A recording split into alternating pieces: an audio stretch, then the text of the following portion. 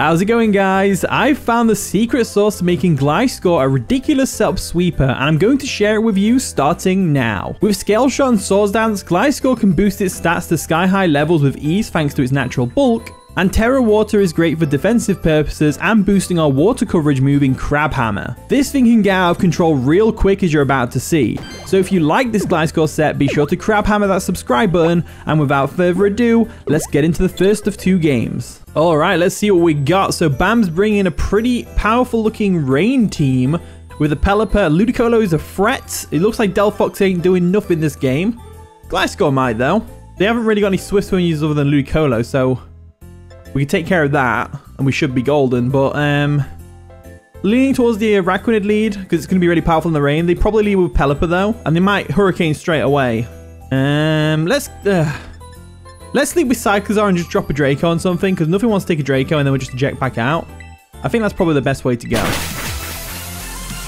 And the battle begins. Good luck, have fun, bam. So they're going to lead off with Lady Elise, which is going to be the Galvantula. As I led off with Cyclizar because I figured it was a good lead. It just seems like it'd be a good lead. So, uh, right, off the bat, I want to drop a Draco on this thing. I don't want it to set up its sticky webs. Or do I already care? Um, I might go for knockoff because they're more than likely going to go for sticky webs, right? So if I go for a knockoff, that's going to be fine. I'll preserve my eject pack for now.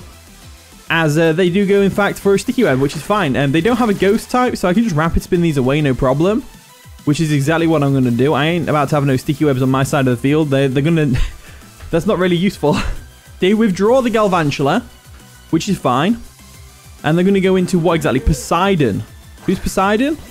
The Pelipper. Nice and shiny. Gotta love it. So, gets the Drizzle up, which is always nice. We go for a Rapid Spin, getting rid of those uh, pesky webs. And now we'll simply drop a Draco on this thing. And looking at that rapid spin damage, I'd say that Draco will probably KO. So let's go for the Draco Meteor right now. If they switch out and we drop a Draco on that, then, you know, Draco Meteor comes through. That thing's going to go down probably. It lived on 1 HP. Lucky. As uh, we obviously eject pack out of there. And we can just go into our Pokemon to take care of this Pelipper. Now, the best Pokemon I have to take care of Pelipper here is probably going to be Ninetales to get rid of that rain. So I'm going to go into Ninetales now, just get rid of the rain, because I don't want that Ludicolo being all swift swimmy and stuff. Um, so we'll go into Ninetales like so. Snow Warning comes through. And they go for a U-turn, which is fine. So U-turn's going to do no damage to my Ninetales. I just need an opportunity to get Gliscor in, really. Gliscor comes in and gets the Swords Dance up, Scale Shot going on ahead, and then we Tera Water Crab Hammer the Great Tusk. We'll be golden. Lady Elise comes in, that's the Galvantula. Now, I'm pretty confident I can't remember whether Galvantula outspeeds Ninetales or not, but um, I'm going to go for an Aurora Veil anyway. And then we'll just go into Cyclizar. They actually make a double, maybe expecting us to switch out, or they want to get back into Pelipper. Yeah, that makes sense. So they went into Pelipper there, which is fine. Nice and shiny, gotta love it. Uh, Drizzle comes through. Now, I'm looking at their team and nothing really wants to take a freeze dry. So uh, even though we failed to get the Aurora Veil up this turn, we were stopped by their pesky Pelipper. We go for a freeze dry here because nothing really wants to take it. So Poseidon's going to withdraw. What are they going to go into to take a freeze dry? Not a lot, really. Lady Elise comes in. That's the Galvantula. So Galvantula is going to probably go down to this, which is good. And we go for a freeze dry. And that takes out the Galvantula, which is fantastic. So Galvantula goes down. Like I said, I, I want to get my Gliscor in somehow. Lord Akun comes in, which is going to be what? The Latios. So Latios is an interesting switch. Um, we could definitely probably take a Luster Purge if they're not specs, but I don't want to risk it. Uh, so I'm leaning towards if they if the the problem they're not going to go for a Draco obviously. If they go for a Luster Purge, then Delphox is probably our best switch or Gengar. No, no, get no. Luster Purge is not a Fairy type move, Jack. Uh, it's type move. So Delphox is probably our best switch here. I don't think Delphox is doing too much this this game since it's a rain team. Um, so we'll bring Delphox in now. We're going to a good old Blair. There we go. As uh, they actually end up terastallizing. Are they going to terastallize into a water type, though? That's the real question. If they do. Or a steel type, maybe? Water. So it's a water type Latios, which is interesting. So that's kind of... If they go for Tera Blast here, that's kind of ruin my Delphox. But they actually go for a Calm Mind, which is good. So Calm Mind is fine. Now, I, I want to get rid of its item. But um, this is a tough one. This is a real tough one, because if they've got a Calm Mind up... If they've got a Calm Mind up... Do we go with Ninetales? Now, we can KO this thing with a Araquanid. I'm not bothered about it at all. I just kind of want to get as much damage off as possible. It can stop as many Calm Minds as it wants to. Because Araquanid's got its focus sash intact, we can just go for a Miracle. So I'm not really bothered about this at all. Um, so they go for a Surf to take us out. It's fine. Delphox going down here is not the end of the world. It's not the end of the world at all. As we're going to bring Araquanid in. And Araquanid can safely go for a um, Miracle, I think, here. So we'll go Araquanid. They probably don't want to get hit by a Leech Life or whatever. To be fair, so I, I don't think they'll expect the Miracle here. Otherwise, they wouldn't have set up. So I'm going to go for a Miracle, expecting a Draco Meteor or something. Luster Purge, that's fine. That's also going to do a respectable amount of damage to us. Yep, lowers our special... No, he doesn't. Never mind. Miracle comes through. That's going to take out the Latios anyway. So uh, that's great. Latios is down. And that was one of the things I was worried about with uh, Gliscor. So it's not the end of the world that Araquanid was weakened, but um, it is one of the few things that kind of stops the Ludicolo as well. Right, Raikage comes in, which is going to be the Thundurus. Nice and shiny as well, gotta love it. Um, I don't want this thing to set up a Nasty Plot, so I'm going to have to go for a Liquidation here. Nasty Plot, yeah, I, I, I kind of, exactly. I, I was expecting the Nasty Plot. I didn't want them to set that up in my face, so I just went straight for Liquidation here, and this should take it out. Yeah, it does. So, a Araquanid coming through right now, which is amazing. Thundurus goes down. Ludicolo comes in. This thing is an interesting one because it's nice and shiny as well. Gotta love it. Um, we can just go for a Leech Life here. I'm pretty confident we can take a hit, but I might be wrong. So let's go for the Leech Life first and foremost. They go for a Teeter Dance. Okay, that's an interesting move. I have not seen Teeter Dance in ages. Ages and ages. If we break through Confusion here and go for a Leech Life, we're going to be golden. But unfortunately, we don't and we, as we hit ourselves in Confusion, which is very annoying. So um, with that in mind, let's go for another Leech Life just because why not? They go for a Bullet so it's a, oh, it's a physical Ludicolo with a loaded dice. Interesting. So I haven't seen a physical Ludicolo before. I guess it can work. Because Ludicolo is not very, uh, very good on its offenses anyway. So it kind of makes sense. So uh, Bubbles goes down. The rain is going to stop. We are looking pretty good right now with Gliscor. I think Gliscor can finish off the game. I think Gliscor can finish off the game. So we're going to Toxicity the Gliscor. And uh, we'll Tera Water. And we will Swords Dance? They might go into Pelipper. I say we Tera Water Swords Dance. I say we Tera Water Swords Dance. And then go for a Scale Shot. And then just proceed to outspeed them. So we'll go Gliscor Tera Water. They won't have gone for a, a Grass type move. They'll have gone for a Water type move or an Ice Beam. Um, let's see how this plays out, though. Gliscor wants to come through, though, that's for sure. So we go for a Swords Dance real quick. There we go. As uh, Swords Dance boosts our attack shortly, they go for a Swords Dance of their own. Interesting. So they didn't Teeter Dance, which is lucky for me. Let's go for a Scale Shot first and foremost. Let's hit it. Yeah, we, yeah, we hit it, which is great. I don't think that's going to KO, actually. I don't think that's going to KO. If we hit all five times, it might. But we're going to hit four times, aren't we? No, we hit all five times. Nice. Nice. Gliscor coming through and getting a defense and speed boost. That's amazing. So, Gliscor coming through, which is a great. Ludicolo going down, which is double great. Mount Himu comes in. That's going to be the Great Tusk. They obviously don't realize we have the Crab Hammer, which is good for us. They're going to get booster energy in what? Attack, which is fine. Um, we know it's not a defensive one then. So let's go for a Crab Hammer and take this thing out. I'm pretty confident it'll take it out. Crab Hammer comes through, boosted by Tera Water. There we go. Boom. Down goes the Great Tusk in one clean shot.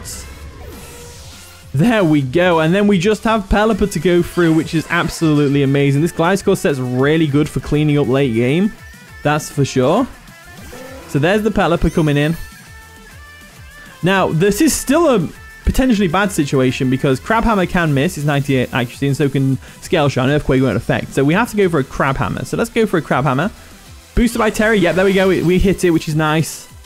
As Crab Hammer takes the Pelipper right down, and that is going to be the game. So GG, bam, that was a fun one. I did enjoy that. That was absolutely amazing. Gliscor, yay! All right, what's Cody brought to the fray? Oh, that's a powerful looking team. Bombirdier is so cool to see. Hitmonlee's also really cool. Um, I'm looking at the team and I'm thinking we could probably lead with Araquanid and get the stealth uh, the sticky webs up straight away. I don't know if a Bombirdier gets defog or not. But I don't know whether you'd normally run Defog on it anyway. Lycanroc's a threat. Uh, I think we can probably just lead off with... Um, I don't see any problem with leading with Araquanid because they haven't really got much setup mons. So I think I will lead Araquanid to get the Sticky Webs up because they've got some fast Pokemon. They've got the Tauros, they've got the Lycanroc, um, and the Hitmonlee after Unburden. So I think that's good to go. And the battle begins. Good luck, have fun, Cody. So they're going to lead off with Goodra, which is nice. So the Hisuian Goodra is a good switch. As uh, we lead off with Bubbles, um, which is not the worst switch in the world. So um, let's go straight for a Sticky Web. I don't see any reason not to. They might not expect the Mirror so we might be pretty good. They actually go for a T-Bolt, which is going to do a decent chunk of damage to us. And we go for the Sticky Webs like so. Um, which is great. They're up for good now. I think, unless the Bombirdier has got Defog. They could be Rapid Spin on the Hitmonlee as well, but I doubt it. Um, you usually see an Unburdened set on that thing, but you never know. It's Cody. They do bring some out-of-the-box stuff. So uh, let's go for a Mirror Coat just in case. Um, they go for an Ice Beam. Expecting a switch, maybe? As we go for a Mirror Coat. Or they were predicting the... Ah, they were predicting the Mirror Coat. So now they're going to go for a Thunderbolt because Thunderbolt will KO us. So that's a good play. Um, so if that's the case, we should switch out. So I'm leaning towards Gliscor, and then we can Tera Water Swords. Oh, that'd be so cool. Um, but the, on the flip side, if they're going to go for a Thunderbolt, I think maybe uh, on the Ninetales is a good switch because we can get the Aurora Veil up. So I'm going to do that. It can definitely take a Thunderbolt. Definitely take a Thunderbolt. So Vimto comes in, which is great. Nice and shiny, gotta love it. We get the Snow Warning off, which is awesome. They go for a Thunderbolt as expected, which is going to do a decent bit, a little bit of chip. No paralysis, which is nice. The less hacks, the better. So let's go for... I'm leaning towards a Aurora Veil. I'm going to go for the Aurora Veil. I uh, screw it. So Aurora Veil comes through. They're probably going to go for a Flash Cannon here, which might take us out for Aurora Veil, but I'm happy with this uh, trade-off. So Flash Cannon comes through. If they're especially offensive, it takes us out. There we go. So Ninetales does go down, but it's not in vain because we got the Aurora Veil up and it's up for 8 turns now, which is great. So uh, now, if we want to, we can go into Gliscor. Now, Gliscor is in a very interesting position against this team. Um, the the Incineroar with the Defog is definitely, a, uh, not the Defog, the Intimidate is definitely a problem. Um, our best bet is probably going to be Gliscor here, so I'm going to go into Gliscor. Toxicity. And I think I'm going to Tera, just in case the Ice Beam. Because they might be thinking, hey, we can take a... I'm going to Swords Dance. I'm going to Tera Water Swords Dance. I don't think they go for a Thunderbolt. Um, I think, if anything, they switch out. So let's see how this plays out. So we'll go to Gliscor Tera Water. Tera Water Swords Dance. Um, which is awesome. Awesome. Awesome. Tera Water is a pretty common Tera type for defensive Gliscor. So it doesn't give anything away by going for Tera Water, but it does boost the Crabhammer's power. So we go for a Swords Dance like so. And we are looking pretty good right now because we outspeed everything on the team thanks to the... They go for an Ice Beam, yeah. Ice Beam's not going to work unless they freeze us. No freeze? That's great. So no freeze is nice. No freeze is real nice. Um, they basically have to switch out here. So I'm going to go for an Earthquake or the Tera, one of the two. They withdraw the Goodra. Um, probably to go into the Bombirdier, if I had to guess. Tauros. Tauros is a good switch. It's probably got the Intimidate, right? Yeah, it's got Intimidate, but we have Hyper Cutter, so we're not bothered about that. As we go for an Earthquake right now. And that's going to nearly take out the Tauros, which is fantastic. They are heavy duty boots because they didn't get taken out by the... Um, they could go for a Raging Bull here to break our Aurora Veil, but I'm going to go for a Scale Shot anyway. So we go for a Scale Shot. We do our speed, which is nice, as the Tauros is going to go down to Scale Shot, which is fantastic. This may be a Gliscor sweep right here. Might be a Gliscor sweep right here, you know. Bombirdier comes in. Looking amazing. Nice and shiny. Oh, nice. I like shiny Bombirdier. It's cool. Um, we're probably going to get hit by a big Crab Hammer, uh, uh, Sucker Punch here. So I'm going to go for a Crab Hammer. Um, they go for a Sucker Punch, which is going to sting. Not really, actually. It did nothing. We have no defensive investment either, which is crazy. So uh, Crab Hammer comes through. That's going to take out the Bombirdier in one clean hit. That's amazing. So Bombirdier goes down, which is great. We are looking very good right now with this Gliscor, I will say. Lycanroc comes through, which is awesome. So Lycanroc's here. We can probably take this thing out. If it's Focus Sash, we can probably take this thing out with Scale Shot. They might Endeavor us. If not. So let's go for a Scale Shot just in case they're Focus Sash, which they probably are. So they go for a Accelerock to get some damage off, which is fair enough. We go for a Scale Shot, which should... Ooh. It's a five hit KO. Can we hit all five times? That's the real question. Can we hit all five times? We hit four times. It lives barely. But we do get a speed boost, so we know we know they can't go for an Endeavor on us at least. Um, so let's go for an EQ here. So they go for another Rock. We are low on defenses, but we're still able to take that like a champ because we're a Gliscor. And Lycanroc goes down. I think I think Scale Shot Gliscor with Swords Dance is my new favorite Gliscor set. Like, you've been using Gliscor completely wrong if you're using it defensively, because this thing is a monster. In comes the Goodra. Now, we can probably expect a Tera here, right? By the way, they brought it in. But is the Tera too obvious? I, I guess we could go for a Crabhammer, just predicting the Tera. I'm going to go for the Crabhammer, predicting the Tera. Um, they don't Tera. They were bluffing. So I fell for the bluff. That's unfortunate. Crabhammer does a nice little bit of damage, though. And they go for a Thunderbolt, which takes out Gliscor. So Gliscor did really well, taking out a lot of their team. Three of their team already gone.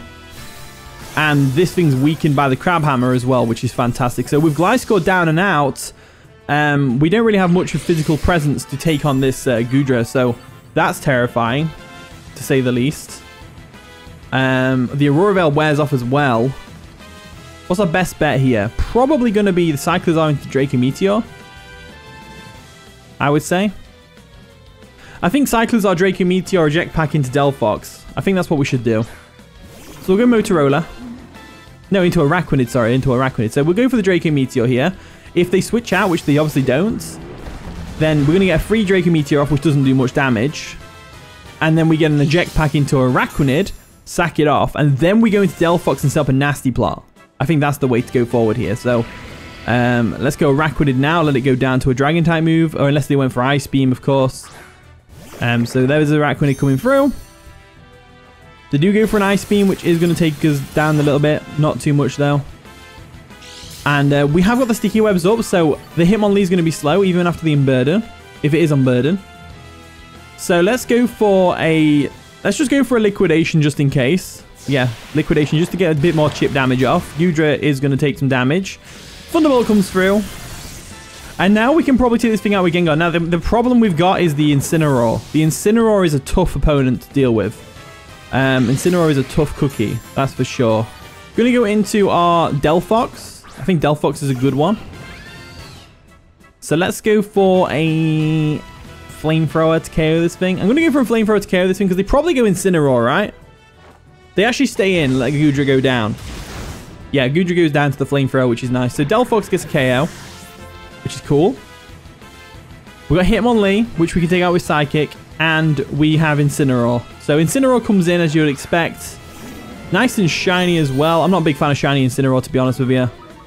Just not a big fan. Um, let's go ahead and switch out. So I'm, I'm leaning towards Cyclizar because Knockoff won't KO us because of the fact that we haven't got an item. So I'm going to go into Cyclizar now and we'll just drop a Draco. So we withdraw Blair. We withdraw Blair and we're going to Motorola. And looking at the team, I'm trying to figure out what this Incineroar is going to be. So it goes for a knockoff, which doesn't KO us because we haven't got an item.